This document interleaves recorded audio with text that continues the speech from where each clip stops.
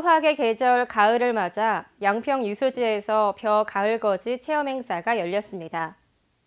21일 양평 유수지 벼 재배지에서 열린 이번 체험 행사에는 조기령 구청장을 비롯한 초등학생과 지역 주민 등 90여 명이 참석해 벼베기와 탈곡 작업을 체험하며 수확의 기쁨과 동시에 자연이 주는 농산물의 소중함을 직접 보고 느끼며 도심 속 농업 체험을 해보는 소중한 기회를 가졌습니다.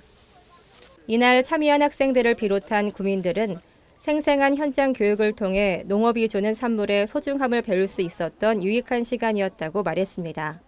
TV에서 보다가 직접 하니까 농부 아저씨가 얼마나 힘들지 알겠어요. 조기령 구청장도 이 자리에 함께해 영등포는 산이 없는 만큼 구민들의 휴식과 건강을 위해 자연과 함께할 수 있는 생태 공원을 조성했다며 앞으로도 양평유수지가 구민들의 휴식과 건강을 위한 공간으로 자리매김할 수 있도록 구민들의 많은 참여와 이용을 당부했습니다.